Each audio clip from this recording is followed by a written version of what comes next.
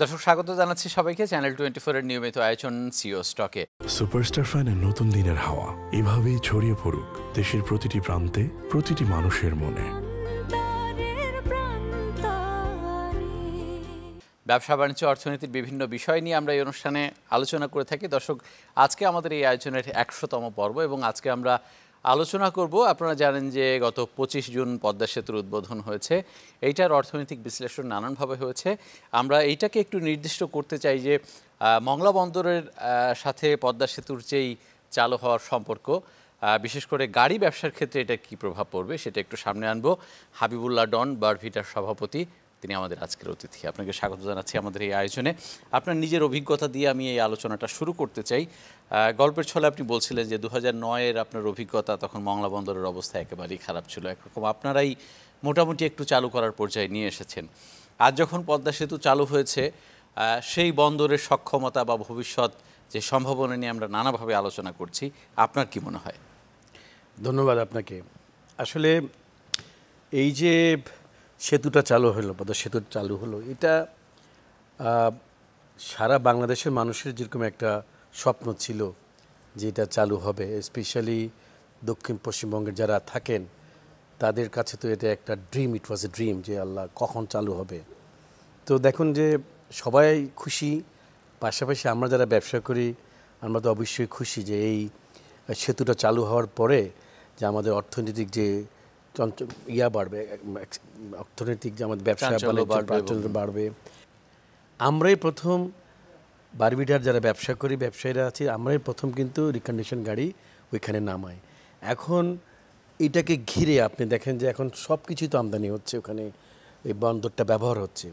পাশাপাশি এই বন্দরে আপনি দেখবেন যে গাড়ি, গাড়ির পাশে অন্যান্য আইটেম আমদানি হচ্ছে এবং আপনি গত দুদিন তিন দিন আগেই রিপোর্ট করেছে বন্দরের চেয়ারম্যান একেবারে সব পত্রিকায় ফলাও করে এসছে যে প্রায় বিশ হাজার আটশো আট ইউনিট গাড়ি এসছে এ গত অর্থ বছরে। এবং আমাদের এই গাড়ি বন্দরকে রাখা নিয়ে থেকে শুরু করে, বন্দর ব্যবহার থেকে শুরু করে, আমার মনে হচ্ছে বন্দর কর্তৃপক্ষ একদম ভালো একটা রেভিনিউ আর্ন করছে গাড়ি থেকে। কম্পারেটিভ অ্যানালাইসিস করলে মোংলা বন্দরটা কেন গুরুত্বপূর্ণ আপনাদের জন্য বা চিটাং বন্দর থেকে কেন এগিয়ে আছে? না দেখুন চিটাগং বন্দর তো ইনফ্যাক্ট ইসে প্রথম বন্দর। আমরা প্রথম গাড়ি আনি চিটাগং বন্দর থেকে।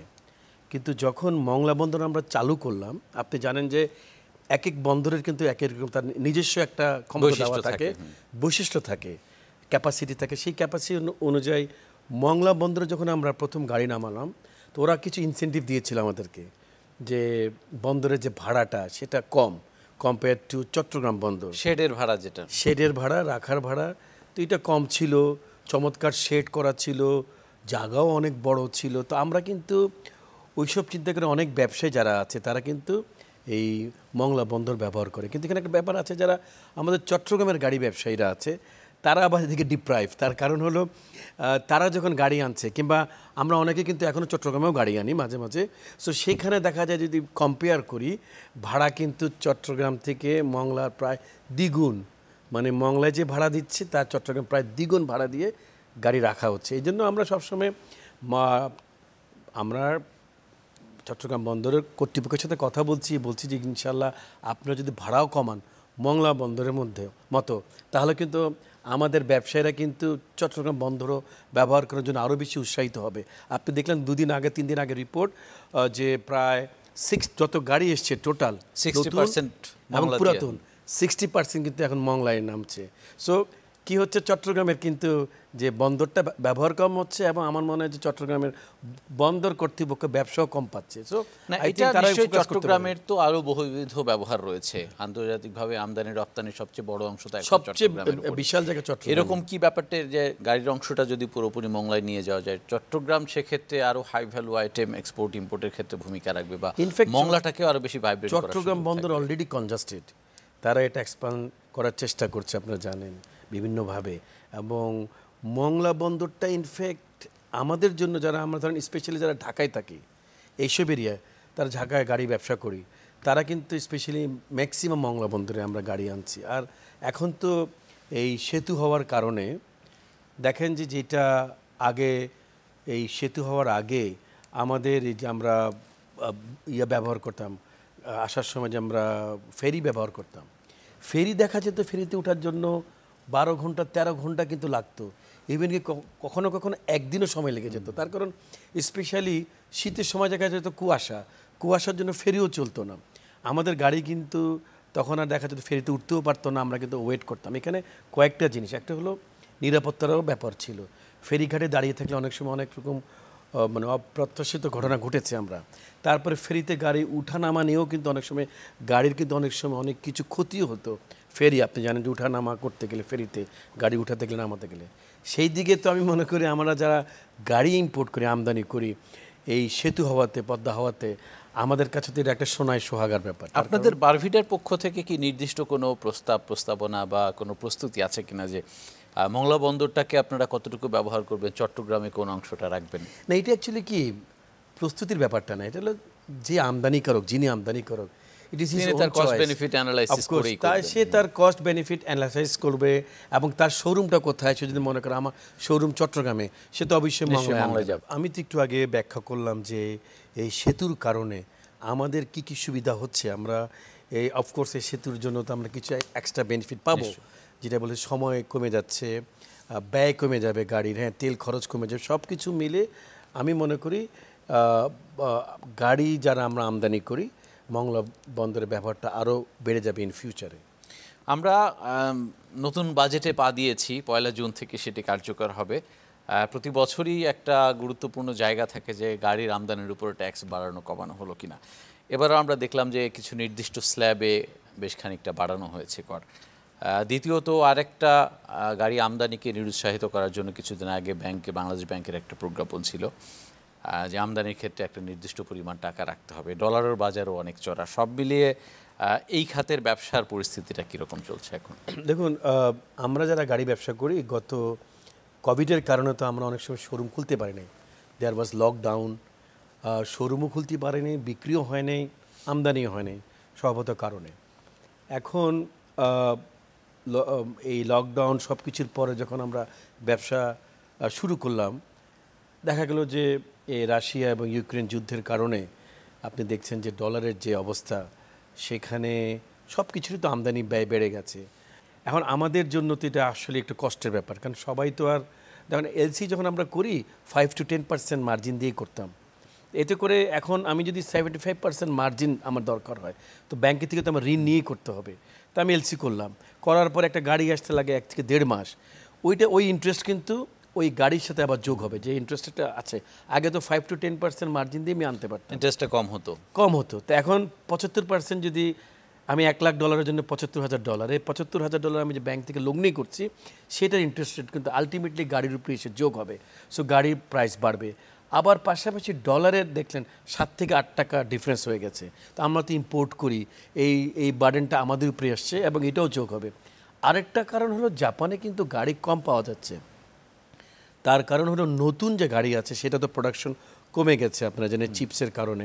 তো ওটা নতুন যারা গাড়ি ম্যানুফ্যাকচার করে তাদের যখন প্রোডাকশন কমে গেছে এখন রিকন্ডিশন গাড়ি পুরাতন গাড়ি তারা বিক্রি কমিয়ে দিয়েছে অকশনে গাড়ি কম পাওয়া যাচ্ছে।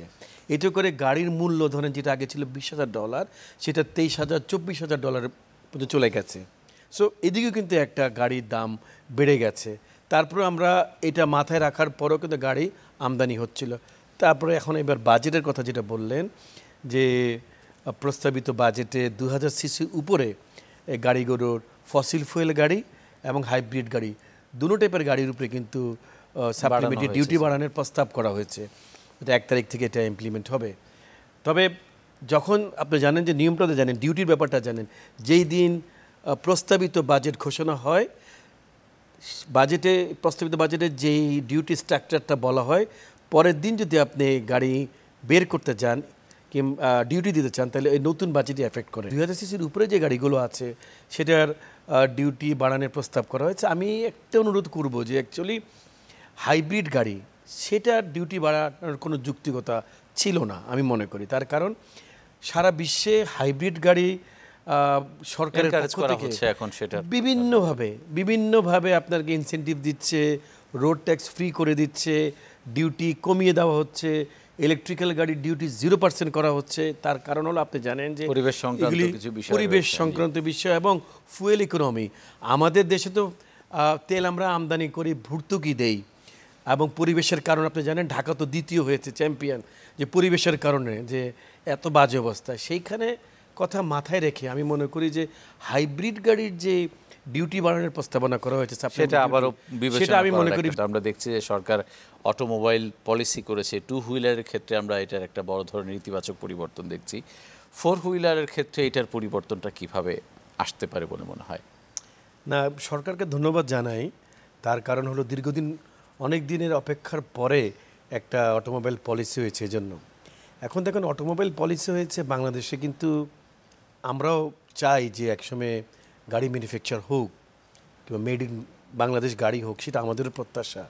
কিন্তু বাস্তবতা কিন্তু টোটালি ডিফারেন্ট তার কারণ যে দেখুন যে যেসব দেশে ম্যানুফ্যাকচারিং প্ল্যান্ট হয়েছে অটোমোবাইল কিংবা অ্যাসেম্বলিং প্ল্যান্ট হয়েছে কত ভাগ সফল হয়েছে। আমি যদি মালয়েশিয়ার কথা ধরি, মালয়েশিয়াতে কিন্তু আজ থেকে প্রায় তিরিশ বছর আগেই কিন্তু এটা চালু হয়েছে। তারা ম্যানুফ্যাকচারিং প্ল্যান্ট করেছে অ্যাসেম্বলিং প্ল্যান্ট করেছে। কিন্তু সফল হতে পারেনি আপনি দেখেন মালয়েশিয়ার যে একটা ওন ব্র্যান্ড আছে you go and visit Malaysia you will not find lot of car over there because ওইখানে দুরকম ওটাই চালু করেছে। বিকজ সফল হতে পারে নাই, তার কারণ হলো গাড়ি ম্যানুফ্যাকচার ইজ নট আপনি কাপড় কিংবা জুতা যে চাইলে আপনি করে ফেললেন, এটার যত অনেক পার্টস দরকার, আপনি জানেন যে এটা অনেক দরকার। অনেক বড় বড় দেশে কিন্তু এখনও ইঞ্জিন ম্যানুফ্যাকচার করতে পারে নাই। বডি ইজ ওকে হ্যাঁ চেচিস ঠিক আছে, দরজা, জানালা ঠিক আছে glass but engine is totally different so এটা সবাই দেন মানে আউটসোর্স করছে বিভিন্ন জায়গা থেকে বিভিন্ন কোম্পানি করে কিন্তু গাড়ি করছে। বাংলাদেশের যে যে ফিউচার গাড়ির ম্যানুফ্যাকচারিং যে আপনি বলছেন যে এখানে ইন্ডাস্ট্রি হয়েছে, করছে, এটা আমরা স্বাগত জানাই, কিন্তু এটা আমি মনে করি যে আমাদের বাংলাদেশে এখন যে ইম্পোর্টটা হচ্ছে যে মার্কেটটা ধরেন বিশ হাজার তিরিশ হাজার নতুন এবং পুরাতন মিলিয়ে সেখানে আমরা স্টাডি করে দেখেছি এবং জানিয়েছিও যে মিনিমাম এক লক্ষ গাড়ি যদি কাটতি না হয় এক লক্ষ গাড়ি পঞ্চাশ আশি হাজার থেকে এক লক্ষ গাড়ি যদি কাটতি না হয় বিক্রি না হয় সেখানে কিন্তু ভায়াবল হয় না কোনো ইন্ডাস্ট্রি এখন যেসব ইন্ডাস্ট্রিগুলো এখানে করছে আপনি কীভাবে করবেন? এখন ওরা করছে ফসিল ফুয়েলের একটা ইন্ডাস্ট্রি যে ম্যানুফ্যাকচারিং প্ল্যান্ট এখন হাইব্রিড চলে এসছে। ইলেকট্রিক ইলেকট্রিক গাড়ি আসতেছে। কদিন পরে হাইড্রোজেন আসবে। সো এটার সাথে তাল মিলিয়ে চলা অনেক ডিফিকাল্ট মালয়েশিয়ার মতো দেশ কিন্তু ফেল করেছে। তার কারণ হলো if you go Malaysia you will see সেখানে জাপানিজ গাড়ি ভর্তি। বিকজ তারা কম্পিটিশন করার জন্য রেখেছে। আমি চাই নতুন গাড়ির ফ্যাক্টরি হোক রিকন্ডিশনেও আনব। আপনি যদি চয়েস ইজ ইয়োর কাস্টমারের চয়েস নতুন রইল রিকন্ডিশন রইল এখন আপনি যদি ভালো গাড়ি ম্যানুফ্যাকচার করতে পারেন অবশ্যই কাস্টমার ক্রেতাকে কিন্তু আপনার ওই গাড়িটাই কিনবে। সুলভ মূল্যে ভালো গাড়ি। এবং এখানে কম্পেয়ার করার মতো কিন্তু আপনি সুযোগ রাখা উচিত। এবং রেখেছে সরকার যে রিকন্ডিশন গাড়িও থাকবে ব্র্যান্ড নিউ আপনার চয়েস ক্রেতার চয়েস ক্রেতা যেই গাড়িটা যে পছন্দ করে। আমি এখানে একটা কথা বলি। কেন জাপানিজ গাড়ি এখনও আপনি কিন্তু ইয়ার আগে কথা বলছিলাম আপনার সাথে বাইরে বসে। এখনও সারা বিশ্বে কিন্তু খুবই পপুলার তার কারণ আমরা যে জাপানিজ গাড়িগুলো আনি মার্কেট করতেছি তার কারণ হলো একটাই। সেটা হলো এখনও বাংলাদেশের মানুষ গাড়ি কিনে মনে করে একটা ইনভেস্টমেন্টের মতো। যে গাড়ি কিনলাম আমি যখন বিক্রি করতে যাব আমি যেন একটা রিসেলটা পাই এবং একটা গাড়ি কিনলাম এটা হ্যাসেল ফ্রি যেন থাকুক আমাকে কদিন পর পর যেন গ্যারেজে না যেতে হয় পার্টস অ্যাভেলেবেল সো জাপানিজ গাড়িতে আর ইউ আন্ডারস্ট্যান্ড যে গাড়ি কিনলেন আমরা অনেক গাড়ি বিক্রি করেছি জানেন? ষোলো বছর বিশ বছর চলছে। এমনও গাড়ি বিক্রি করেছে দু বছর কোনো প্লাগও চেঞ্জ করতে হয় নাই। সো হোয়াই নট তো এই জন্য মানুষ কিন্তু জাপানিজ গাড়ি কিনছে। নিশ্চয়ই অনেক ধন্যবাদ। শেষ করতে হচ্ছে আজকের মতো এই আয়োজন দর্শকের সাথে শেষ করছি আজকের সিও স্টক ভালো থাকবেন সবাই।